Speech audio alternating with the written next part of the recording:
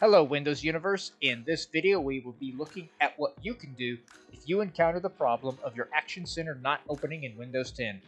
For a more in-depth article on the subject, we will link an article in the description down below. Start by restarting your File Explorer. Open the Task Manager and look for Windows Explorer.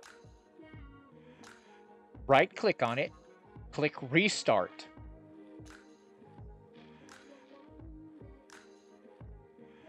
Check and see if you can open the Action Center then.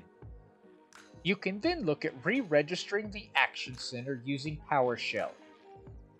Open PowerShell with admin privilege.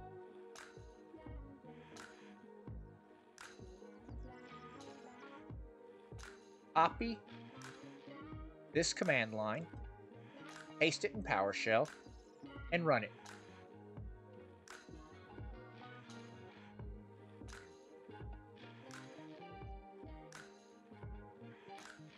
When that's finished, restart your computer and see if the Action Center now works.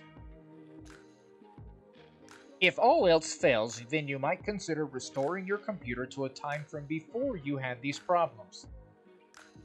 In the task search, type in Restore. Under System Protection, go to System Restore.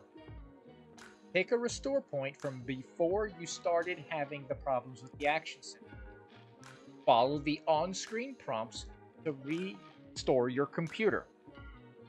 You will, however, have to reinstall any programs or hardware you installed after that restore point.